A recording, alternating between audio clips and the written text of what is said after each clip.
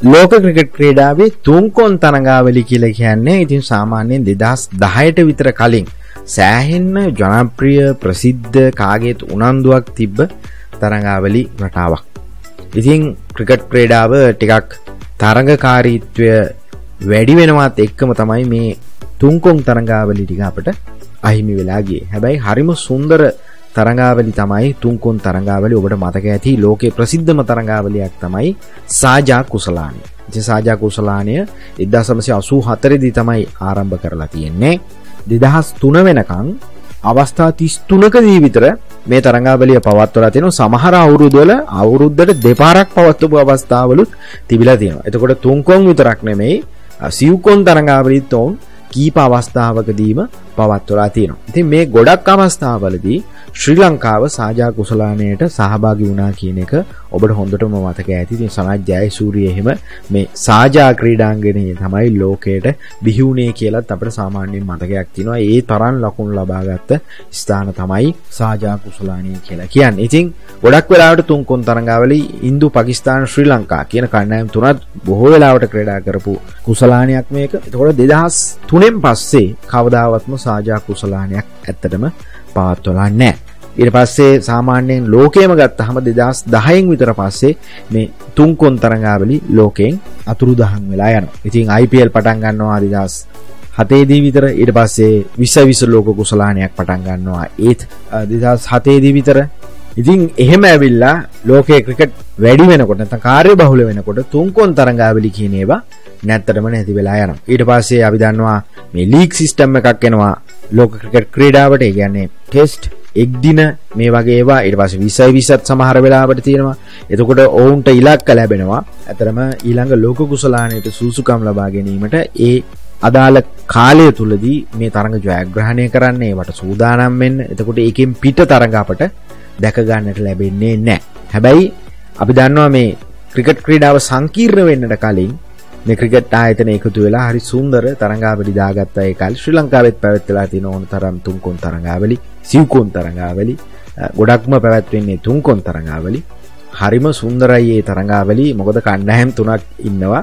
හරිම තරඟකාරීත්වයක් සහ ඉතාම උනන්දුවෙන් බලන තරඟාවලි රටාවක් තමයි මේ තුන්කොන් තරඟාවලි. ඉතින් දැන් ආයෙත් ලෝකේ ප්‍රේක්ෂකයන්ගේ අවධානය තුන්කොන් තරඟාවලි වලට යොමු වෙලා තියෙනවා වගේ මේ සඳහා ඇත්තටම ලොකු කැමැත්තක් තියෙනවා කියලත් පේනට තියෙනවා සමාජ මාධ්‍යවල තියෙන ප්‍රතිචාරත් එක්ක. දැන් අලුත්ම ප්‍රවෘතිය තමයි දෙදහස් විසි හතර වර්ෂයේ සාමාන්‍යයෙන් නොවම්බර් දෙසැම්බර් කාලය වන විට ඉන්දු පකිස්ථාන ඕස්ට්‍රේලියා තුන්කොන් තරඟාබලයක් පවත්වන්නට පුළුවන්ද කියලා යම් කිසි අදහසක් යෝජනාවක් කරමින් සිටිනවා. විශේෂයෙන්ම එකට හේතුව තමයි ඕස්ට්‍රලියාවේ මෙවර වසර අවසානයේ තරඟාවලි කාලසටහන එලියට ආවා.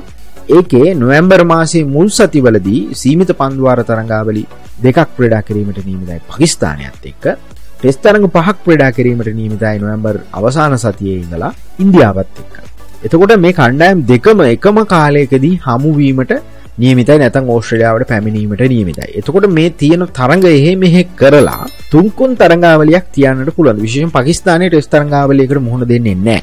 ඔවුන් සීමිත පන්දුවාර තරඟාවලියකට යන්නේ. ඉන්දියාව සීමිත පන්දුවාර තරඟාවලියකට යන්නේ නැතුව ටෙස්ට් තරඟ පහක් ක්‍රීඩා කිරීමට යන්නේ. ඒ නිසා ඒ කාලය කළමනාකරණය කරගනිමින් මේ කණ්ඩායම් තුනේ තුන්කොන් තරඟාවලියක් ක්‍රීඩා කිරීමට හැකිද කියලා යම්කිසි උත්සාහයක ක්‍රිකට් ඕස්ට්‍රේලියා නැත්තම් ඕස්ට්‍රේලියානු ක්‍රිකට් ආයතනය සිටිනවා කියලා තමයි මේ වන විට ජාතියන්තර මාධ්‍ය වාර්තා කරන්න.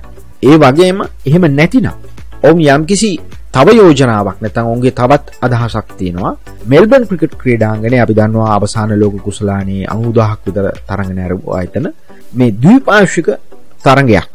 තරඟා වලියක් වෙන එකක් නැහැ බොහෝ දුරට මොකද කාල වේලාවත් එක්ක එක තරඟයක් හෝ මේ කණ්ඩායම් දෙක අතර පැවැත්වීමට බොහෝ දුරට එකට ටෙස්ට් තරඟයක් වගේ වෙන්නටත් පුළුවන් එහෙම හරි නැත්තම් සීමිත පන්දුවර තරඟ කීපයක් හරි වෙන්නටත් පුළුවන්. තාම ඒ ගැන හරියටම අදහසක් නැහැ. කොහොම හරි ද්විපාර්ශ්වික තරඟාවලියක් පවත්වන්නට පුළුවන්ද කියන අදහසත් පාකිස්තාන ක්‍රිකට් ආයතනයටත් BCCI එකටත් යම්කිසි අදහසක් යෝජනාවක් කරලා තිනවා කියලා මේ වන විට ඕස්ට්‍රේලියානු ක්‍රිකට් ආයතනයේ ප්‍රධානියා පවසලා තියෙන. ඉතින් ඔන්න වගේ තත්ත්වයක් තමයි දැන් තියෙන්නේ. අපි බලමු තව කාලයක් තියෙනවා. මොකද අවුරුද්ද අවසානයේදී තමයි මේක වෙනවා නම් වෙන්නේ.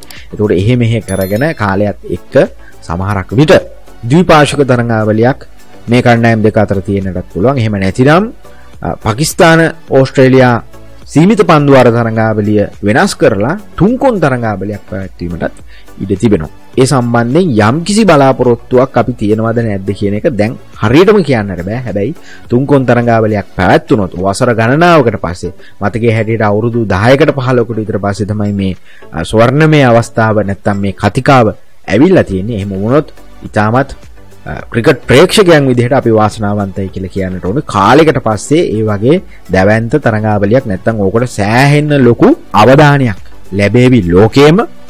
ඒක සෑහෙන්න මූල්‍යමය අතින් ගත්ත හමත් ලොකු මුදලක් මැවෙන තරඟාවලයක් බවට පත් ඉතින් කවුත් අකමැති වෙන එකක් නෑ. වගේ තරඟාවලයක් පවත්වන්න. ය බලමු මේ ක්‍රිකට් ආයතනවල කාලවෙලාව වෙන් කිරීම සම්බන්ධයෙන් ප්‍රශ්නයක් තියෙනවා කියලා තමයි දැනට සඳහන් වෙන්නේ. ඉතින් ඉන්දු පකිස්ාන දීපාශක තරංගාවලි අතුරුදහන් වෙලා යනවා ලෝකයෙන්. ඇතරම ඔවුන් ටෙස් තරංගාවලි පහලක් විතර ක්‍රඩා කරලා තිනවා එදදා සම්සි පනස් දෙකේ ඉඳලා දෙදහස් හත නොවැම්බර් මාසේ දක්තින් ඒකෙන් තරංගාවලි පහක් විතර පකිස්ානය තරංගාවලි හතරක් විතර ඉන්දියාවත් ජයග්‍රහණය කරලා තියෙනවා. මේ රටවල් දෙකම දෙපැත්තර ගිහිල්ලා ක්‍රේඩා කර. හැබැයි මේ දේශපාලන ප්‍රශ්න නිසා දෙදස් හතෙන් පස්සේ නැත නොවැම්බර් මාසෙන් පස්සේ කවදාවත් දීපාර්ශික ටෙස් තරංගාවලයක් මේ කණ්ඩායම් දෙක ක්‍රඩා කරලන්නෑ එක්දින තරඟ ඉතිහාසය ගත්තහම මේ කණ්ඩායම් දෙක විශේෂයෙන්ම දෙදහස් දොළහයි දෙසැම්බර් මාසයෙන් පස්සේ කවදාවත් දීපාර්ශික එක්දින තරඟාවලයක් ක්‍රඩා කරලා නැහැ. විස විස එක තරඟාවලයක් වගේ ක්‍රඩා කරලා තියෙනවා. මේ කාලෙන් පස්සේ ආය ක්‍රඩා කරලා නෑ ඉතිං කෝමහරි දීපාශක තරංගාවලි දස් දොළහෙන් විතර පස්සේ කිසිම රටාවක තරංගාවලයක් ඔවුන් ක්‍රඩා කරලා නෑ දැන් අවුරු දොළහක් විතර. ඉතින් ඔවුන් හමුවන්නේ ICC ප්‍රධාන තරංගාවලි වල සහ ආසියානු කුසලානයේදී පමණයි. කාලසටහන් හදනකොට මේ කණ්ඩායම් දෙක එකට හමු වෙන විදිහට තමයි ගොඩක් වෙලාවට කාලසටහන් හැදෙන්නෙත් ඊට අමතරව නම් මොවුන් ද්විපාශික තරංගාවලි වලට කිසිම කැමැත්තක් සහ උනන්දුවක්වත් වෙනම සාකච්ඡාවක්වත් පවත්වලා නෑ දැන් අවුරුදු දහයි දොලාකින් ඉතින් මේ ප්‍රථම අවස්ථාව වෙන්නට පුළුවන් තුන්කොන් තරංගාවලයක් හරි දවිපාශක තරංගාවලයක් හරි ඕස්ට්‍රේලියාවේදී පැවැත්වොත් ඕස්ට්‍රේලියාව සෑහෙන්න උනන්දුවෙන් සිටිනවා මේ අවස්ථාව ඔවුන් සතු කරගන්නට. ඉතිං ඉන්දියාවයි පකිස්ථානයයි මේ පිටදී ප්‍රඩා කරපු අවස්ථා තියෙනවා ඉතිහාසේ කැනඩාවේ ඔවුන් ක්‍රඩා කල්ලා තියෙනවා. අනු ගණන්වල ඒ වගේම එක්ෂතරාබි එමීර් රාජ්‍යයක් ප්‍රඩා කරලා තියෙනවා දෙදහස් ගණන්වල ඉතින් ඔවුන්ට එහෙම ඉතිහාසයක් තියෙනවා. ගැනේ අදාළ නැතිම රටක ක්‍රීඩා කරන ඉතිහාසයක් ඔවුන්ට තියෙනවා. නමුත් මේ ක්‍රිකට් ආයතන දෙක එකඟ විය යුතුයි. මේවට විශේෂම දැන් තියෙන ප්‍රශ්නය තමයි තුන්කොන් තරඟාවලි නම් ලෝකයෙන් අතුරුදහන් වෙලා යන්න ගොඩක් ලීක් තරඟ තියෙනවා. හැම රටකම ලීක් තරඟාවලයක් ක්‍රඩා කරනවා. එතකොට විස විස්ස ලෝක කුසලානය කවුරුදු දෙකෙන් දෙකට එනවා.